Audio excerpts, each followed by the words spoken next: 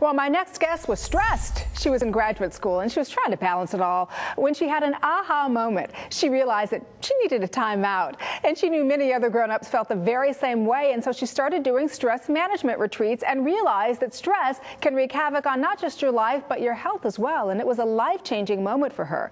So Dr. Barbara Mitchell wrote this book. It is called When You Need a Timeout, Create the Ultimate Stress-Free Getaway One Relaxing Day at a Time to share techniques she says can help every woman manage the stress in their lives.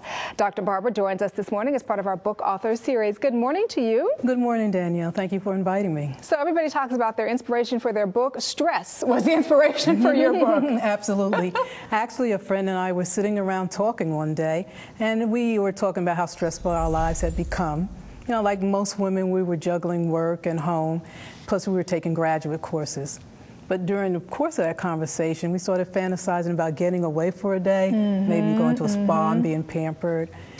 We realized that there are a lot of women in this world who felt the way we did. So why don't we start taking women on stress management retreats? And, and obviously, I mean, one of the things we think about too with stress in women is that, you know, women and stress kind of sometimes seem to go hand in hand. Mm-hmm. Why? Why do you think that is? How does women how does stress affect women in particular? Mm-hmm. Actually, because hormones rule our cycles from pre-adolescent ah. to postmenopause. Mm-hmm. mm-hmm. And stress also produces a hormone called cortisol. We know it as a fight or flight hormone. So you put those two together, you got volatility. So when there's the cramping and the bloating and the night sweats and the hot flashes all through our cycles, women who are under stress experience these in a more intense way. Mm. So, mm-hmm. what are some key steps then that we as women can take to, in your words, be a more vibrant person? And you'll understand what that means here in just a moment. Actually, women need to include some kind of relaxation in their day.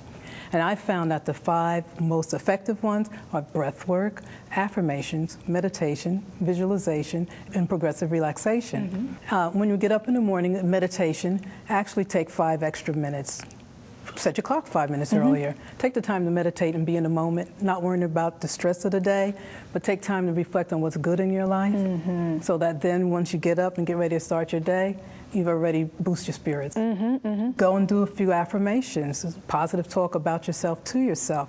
This is when you're getting ready to go to, to uh, go to work.